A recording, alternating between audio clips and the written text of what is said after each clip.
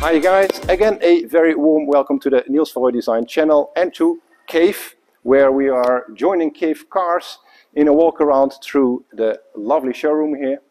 And there is a special British car I would like to show you because, um, well, I've got a bit of a laugh for uh, the British motor cars. It's an Aston Martin, but actually not this DB9, although it's a truly, truly lovely motor car. But let's have a good look at the DB9 before we're going to have a look at the other Aston Martin we're going to discuss today with you.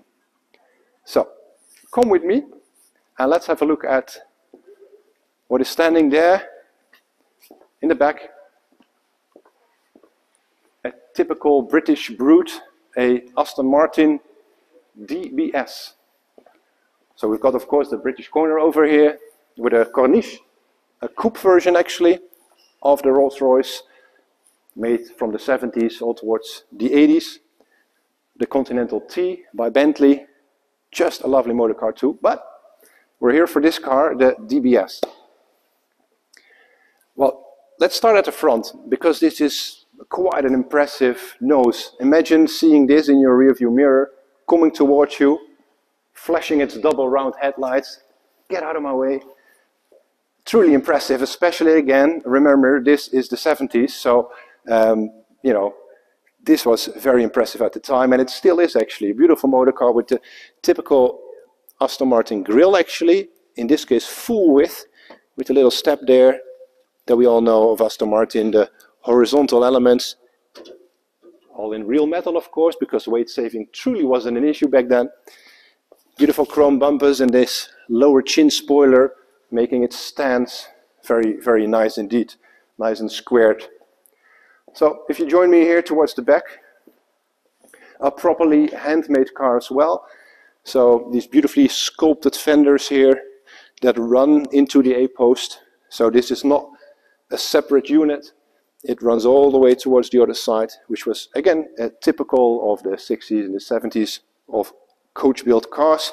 Um, but, you know, very unique, of course, uh, looking at automotive design now, where all these parts are separate and mass-produced, and we would find component seams or shut lines, for instance, running here to there, making this a separate fender, easy to produce, easy to replace. This lovely detail here, a typical Aston Martin air vent, um, but very easy to recognize and nice to take forward into modern cars like you've just seen on the DB9 standing over there, but also with the more modern cars these days, the DB11 for instance.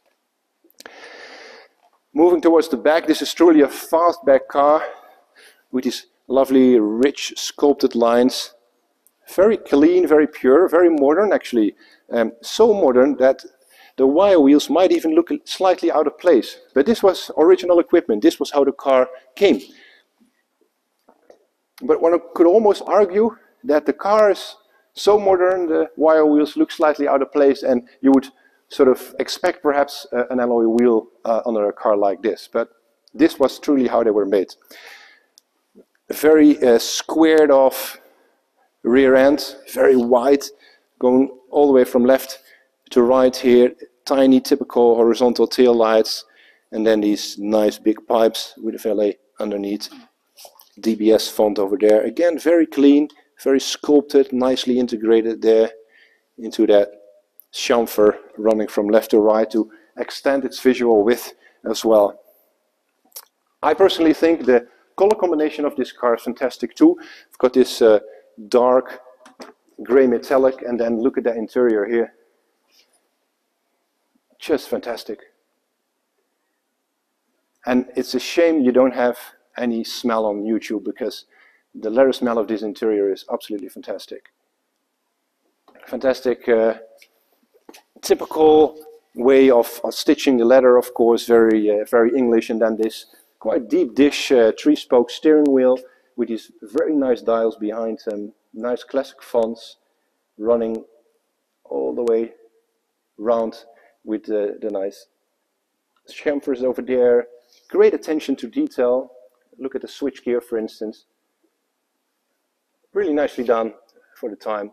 And I think that's even a wooden gear lever, yeah, over there with the automatic transmission.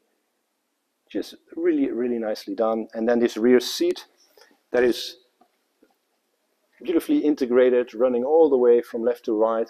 It's not just two separate seats, but it's truly this feeling of a continuous space, which is something quite common these days in car design, of course. But back in the days, you wouldn't see it that much. They were all sort of separate components, not really regarded that often as a complete sculpture, a complete piece of car design. Very nice. So, thank you for joining me on this quick tour of the DBS uh, Aston Martin here at Kaeve Cars in Uden, south of the Netherlands.